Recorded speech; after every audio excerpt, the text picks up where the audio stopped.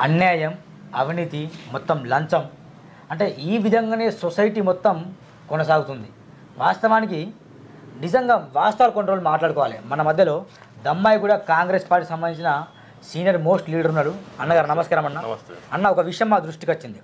Keesara SRO sub register officer గారు అక్రమంగా తను విపరీతంగా డబ్బులు సంపాదిస్తాడు. దాని గల కారణాలు ఏంటంటే మొత్తం ల్యాండ్లు కబ్జా చేసుకోవడం కావచ్చు ఆ, ప్రభుత్వ ల్యాండ్లు కావచ్చు లేకుంటే ప్రైవేట్ ల్యాండ్లు కావచ్చు పంచాయతీ లేని కావచ్చు రిజిస్ట్రేషన్ చేసుకో ఇలాంటివి బాగా చేస్తున్నాయి. ఆయన కనుసన్నుల్లో మొత్తం భూమి మొత్తం మాయమవుతుంది. ఇష్టం ఉన్నట్టు రిజిస్ట్రేషన్ చేసుకున్నట్టు ఒక పేరు వచ్చింది. అది నిజమా కాదా అని దృష్టిలో వచ్చింది. అందుకే మీ దగ్గర వచ్చామన్నా. ముందుగా అందరికీ నమస్కారం. నా పేరు ప్రసాద్ గౌడ్ అండి. దమ్మాయిడ మున్సిపాలిటీ సీనియర్ కాంగ్రెస్ లీడర్.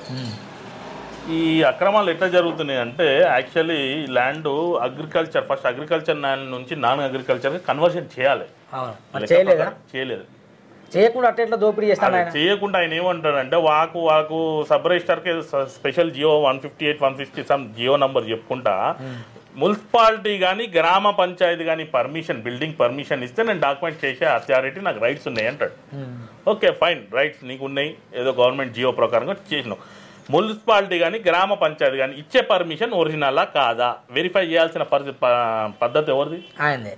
ఆయన వెరిఫై చేయకుండా ఇది దొంగ వే- లే- ఏమంటారు? దొంగ పర్మిషన్ కాపీ ఇది. దీని మీద ప్లాట్లు చేసేసిండు. దాదాపు ముప్పై నుంచి నలభై ప్లాట్లు సర్వే నంబర్లా అన్ని- ప్లాట్లు దొంగతనం చేసిందా అన్ని దొంగ దొంగ ఈ ఈ దొంగ పర్మిషన్లు పెట్టుకునే చేసిండు. ఇప్పుడు కాంగ్రెస్ పార్టీ అధికారంలో వచ్చిన తర్వాత రేవంత్ రెడ్డి గారు ఏమన్నారంటే ఒక చిన్న బిల్డింగ్ అక్రమంగా కట్టినా కూడా దీని మీద చర్య తీసుకుంటాము వెంటనే కూల్ చేస్తామని చెప్పారు. టౌన్ ప్లానింగ్ అధికారులు కావచ్చు డిప్యూటీ కమిషనర్లు కావచ్చు మేయర్లు కావచ్చు చైర్మన్లకు అందరూ చెప్పాడు. ఇది మరి రేవంత్ రెడ్డి గారు చెప్పినది- ఇప్పుడు ఇది ఎంత ఎందుకు జరుగుతుంది అన్న వాస్తవం మా రేవంత్ రెడ్డి గారు చెప్పింది కానీ ఇప్పుడున్న అధికారులు ఇంకా పాత ప్రభుత్వంలోనే ఉన్నాం అనుకుంటున్నారు వాళ్ళ పాత సీఎం కేసీఆర్ గారే అనుకుంటున్నారు కేటీఆర్ గారే అనుకొని వాళ్ళు ఎట్లా దోసుక తిన్నారో తెలంగాణ రాష్ట్రాన్ని కేసీఆర్ కేటీఆర్ ఎట్లా దోసుక తిన్నారో అలానే ఈ అధికారులు దోసుక తిందామన్న ప్లాన్లో ఉన్నారు. కాబట్టి ఇది మేము పుట్టి రెండు మూడు నెలలే అవుతుంది ఇంకా అధికారుల దృష్టికి ఇప్పుడిప్పుడు వెళ్తున్నాయి అన్ని మేము అన్ని ఆల్ డిపార్ట్మెంట్స్ ఆల్మోస్ట్ అందరి డిపార్ట్మెంట్లకు నేను కంప్లైంట్ ఇచ్చున్నాను. ఎంక్వైరీ జరుగుతున్నది ఆయన మీద. కానీ నిన్న కూడా ముప్పై పర్మిషన్లు సేమ్ డిట్టో దీని వల్లనే చేసింది దీనిలాగానే అంటే ఎంత తీసుకుంటావు? ఒక- ప్లాట్ రిజిస్ట్రేషన్ తీసుకున్నందుకు చే- రిజిస్ట్రేషన్ చేసుకుంటారా? డబ్బులు ఎంత తీసుకుంటా చెప్పలేము డిమాండ్. ఇప్పుడు ఏం లే ప్రాబ్లం లేకుండా మంచి మంచి క్లియర్ ఉన్న ప్లా- ప్లాట్కే పదివేలు డిమాండ్ చేస్తుండు. ఇలాంటి ప్లాట్లకు ఎంత డిమాండ్ చేయాలి? ఓ లక్ష ఐదు లక్షలు చేస్తాడేమో ఎంత చెప్పలేము అది. నా నాకున్న అవగాహన ప్రకారం అయితే సబ్ రిజిస్టర్ ప్రతి నెల యాభై నుంచి అరవై లక్షలు మన ఏమంటారు ఇంటికి తీసుకెళ్తున్నా నా అవగాహన. అంత? యాభై నుంచి అరవై లక్షలు ప్రభుత్వ అంత గండి కొడతాను తను? అంత ప్రభుత్వానికే గండి కొడుతున్నాడు. కాబట్టే మా ఆ- బాధ ఇది. రేవంత్ రెడ్డి గారి దృష్టికి తీసుకెళ్ళాలని అది అధికారుల దృష్టికి తీసుకెళ్ళాలని మేము ఇవన్నీ బయట పెడుతున్నాం. కాబట్టి ఎవిడెన్స్తో సహా పెడుతున్నాం. ఇది చీరాల గ్రామం సంబంధించింది. ఇంకోటి ఇది నాగారం గ్రామం సంబంధించింది. ఇంకో పేపర్ చూపిస్తాను మీకు. వామ్మో వామ్మో గిన్ని అక్రమాలు అన్న ఆ, ఇగో ఇది నాగరం గ్రామం సంబంధించింది. ఈ గిఫ్ట్ డీడ్ ప్లాట్ చేసిండ్రు. ఇది దీనికి ఎట్లా చేసినావు sir? Gift deed problem plot అంటే మున్సిపల్ టీఎస్పీసీ బిల్డింగ్ పర్మిషన్ ఇచ్చిందని చెప్తుంది. ఇది ఫేక్ పర్మిషన్. మిత్రులారా బాగా గమనించండి. ఎంత మొత్తము ప్రభుత్వం ఏమో ఒక ఒకవైపు సంక్షేమ పథకాలు తీసుకొని మంచి పనులు చేస్తుంటే ఇలాంటి దుర్మార్గులు ఎస్ఆర్ఓ సురేష్ లాంటి వ్యక్తులు ఏం చేస్తారంటే ఫేక్ పర్మిషన్ సృష్టించేసి లేదు మాకేదో జీవో ఉంది ఆ జీవో ప్రకారం చేయొచ్చు అని చెప్పేసి అక్రమంగా నిన్ననే ముప్పై అమ్మిండట. అంటే ఎన్ని కోట్లు వెనకేసుకుంటారు ఆ సబ్ రిజిస్టర్ చెప్పండి. ప్రభుత్వానికి ఎంత ఎంత గండి కొడుతుందని చెప్పండి. అలాంటి ఎస్ఆర్ నాకు తెలిసి కారాగార శిక్ష విధించాలి దానికి. మొత్తం కారాగార శిక్ష విధించాలి. చెర్లపల్లి జైలు చెంచలగూడ జైల్లో ఏదో తప్పు చేసినా తప్పు చేయకుండా కొందరిని తప్పుడు కేసులు బనాయి చేసి తీసుకెళ్తారంట వాస్తవానికి. ఇలాంటి వాళ్ళని తీసుకెళ్ళాలి దాంట్లో. హండ్రెడ్ పర్సెంట్ వీళ్ళని ఇట్లాంటి క్యాండిడేట్ ఖచ్చితంగా జైలు శిక్ష చేయాల్సిందే ఇతనికి. ఆల్రెడీ నాకున్న అవగాహన ప్రకారం గట్ కేసుల్లో కూడా ఏదో స్కామ్ చేసిందని తెలిసింది. ఇవన్నీ ఇవి నాగారం గమనించండి. ఇవన్నీ చూడండి ఎంత ఎంత మోసం చెప్పండి? ఇంత ఇలా ఉంటుందా? ఎన్ని కోట్లు దోసుకున్నావు సబ్ రిజిస్టర్ గారు? మిమ్మల్ని సూర్య ప్రశ్నిస్తున్నా. సూర్యన టీవీ మిమ్మల్ని సూర్య ఎన్ని కోట్లు దోసుకున్నావు చెప్పండి? ఆ కడుపుకు అన్నం తింటున్నావు? డబ్బులు తింటున్నావా? అరగవు చచ్చిపోతావు అట్లనే అట్లా చేయకు మంచి పద్ధతి కాదు ఇది. ఆయన ఇంకేమనుకుంటాడే మాకు ఆ టీఆర్ఎస్ ప్రభుత్వమే ఉంది. మేము టీఆర్ఎస్లో మా బాసులు దోసుకున్నట్టు కేసీఆర్ కేటీఆర్ దోసుకున్నట్టు నేను కూడా దోసుకుందామన్న ప్లాన్లు ఉన్నట్టున్నాడు. కానీ బాబు ఇవన్నీ నడవ ఇంకా.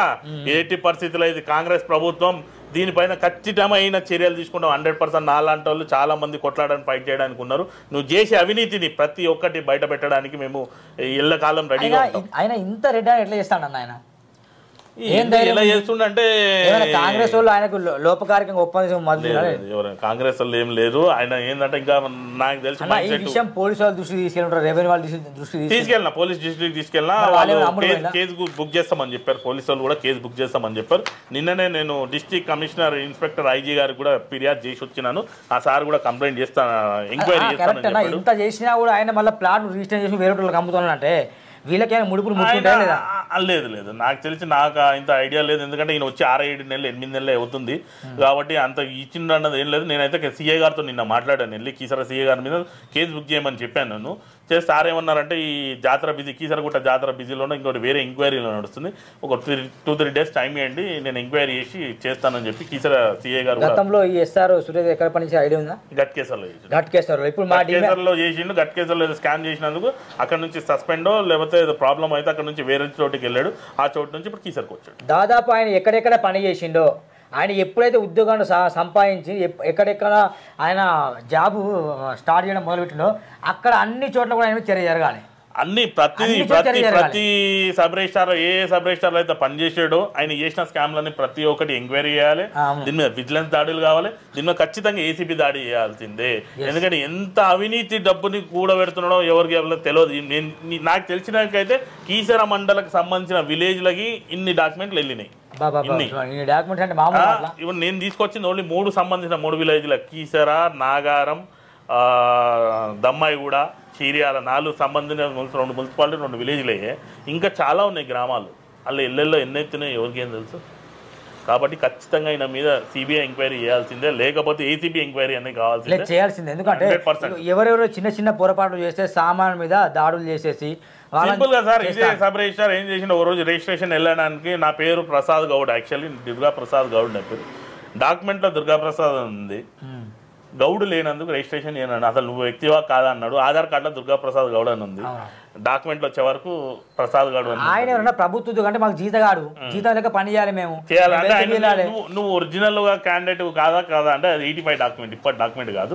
కాబట్టి నేను రిజిస్ట్రేషన్ చేయను అని చెప్పి రిటర్న్ పంపించిన వ్యక్తి ఇది ముప్పై- స్కామ్లన్నీ ఎట్లా చేస్తుండు. ఒక- రోజు ముప్పై ఎట్లా ఇప్పుడు ఆయన డూప్లికేట్ కాదా? ఇవన్నీ స్కామ్లు ఎలా చేస్తుండు? ఆయన డూప్లికేట్ పత్రాలు సృష్టించడం? ఇవన్నీ మున్సిపల్ మున్సిపల్ పర్మిషన్ జనరల్గా అయితే మున్సిపల్ టీఎస్పిఎస్ ఇలా మన పర్మిషన్ అప్లై చేస్తే ఏమవుతుంది సార్? మనకి ఇది వస్తుంది ఏమంటారు? నిమిషం ఈ టీఎస్పిఎస్ ఇలా మనం పర్మిషన్ అప్లై చేసినాం మీరు అప్లై చేసిన. ఈవెన్ మీరు అప్లై చేసినా నేను అప్లై చేసినా ఇట్లా హాలో మార్క్ వస్తుంది. ఇలా హాలో మార్క్ వస్తుంది.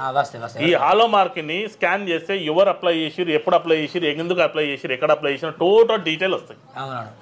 కానీ ఇది స్కాన్ చేస్తే డీటెయిల్స్ రావట్లేదు అంటే ఫేక్. ఏదో గూగుల్ పే ఫోన్ పే పెడతాడు అట్లా. డీటెయిల్స్ రావట్లే. అట్లా ఒకటి ఈ- ఈ- ఈ- ఇది రావట్లే అంటే టెక్నికల్ ప్రాబ్లం ఉందేమో అనుకొని నేను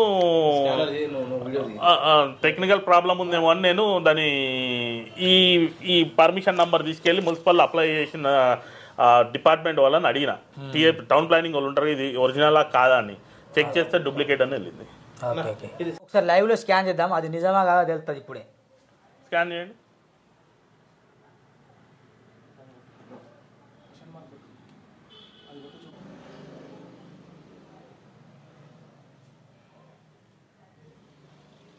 రావట్లేదు. రావట్లేదు. మొత్తం ఇన్వాల్వ్ అని చూపిస్తాను చూసినావా? ఆ దొంగ ఎస్ఆర్ఓ గారికి నేను సూటిగా ప్రశ్నిస్తున్నా. అసలు ఇలాంటి పనులు చేయడానికి కొంచెం సిగ్గు అనిపిస్తలేదు మీకు? రోజుకు రోజుకు ముప్పై మూడు ప్లాట్లు ఏం సార్ ఏమంటాడు? నాకేం తెలియదు సార్ నాకు మున్సిపల్ వాళ్ళు పర్మిషన్ ఇచ్చేస్తే నేను ప్లాట్ రిజిస్ట్రేషన్ చేసిస్తా అంటుండు. అది అగ్రికల్చర్ ల్యాండా నాన్ అగ్రికల్చర్ ల్యాండా? కన్వర్షన్ అయిందా? కన్వర్షన్ కాలేదా? చూసుకునేది లే బాధ్యత ఆయనకి లేదా? ఒక గవర్నమెంట్ ఎంప్లాయీ ఉండి ఆయన ఇష్టానుసారం పర్మిషన్లు ఇచ్చేస్తాడా? ఇదండి. ఈరోజు జరిగింది మొత్తం. మొత్తానికైతే ప్రసాద్ గౌడ్ ప్రసాద్ గౌడ్ గారు చెప్పిన విషయాలు వాస్తవానికి ఉన్నది నిజమే అనిపిస్తుంది. సురేష్ సురేష్ గారు ఎవరైతే ఎస్ఆర్ ఉన్నారో తన మీద చర్య తీసుకోవాలి. ఏసీ మొత్తము మనం తప్పకుండా ఏసీబీ దాడులు చేయాలి.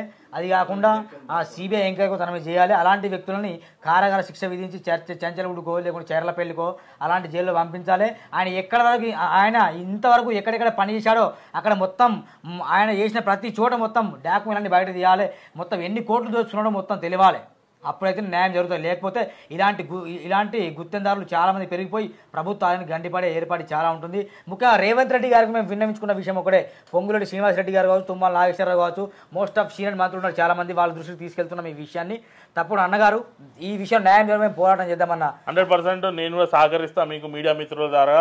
ప్రభుత్వానికి తెలియజేయడం మా అన్నగారికి రేవంత్ రెడ్డి గారికి ఉన్ను మరి పొన్నురెడ్డి శ్రీనివాస్ రెడ్డి గారికి రెవెన్యూ మినిస్టర్ గారికి తెలియజేయడం ఏంటంటే ఇలాంటి అవినీతి పరువుల సబ్ రిజిస్టర్ గాళ్ళ మీద ఇమ్మీడియట్ తక్షణమే చర్యలు తీసుకోండి. ఈ ప్రభుత్వానికి నష్టం చేస్తున్నారు వీళ్ళు. ఈ డబ్బులు మోసం చేసేది ప్రభుత్వాన్ని మోసం చేస్తున్నట్టే మనల్ని మోసం చేస్తున్నట్టే. కాబట్టి మీరు ఖచ్చితంగా మీరు దీనిపైన కఠిన చర్యలు తీసుకోవాలని మీ మీడియా ద్వారా నేను కోరుకుంటున్నాను. నమస్కారం.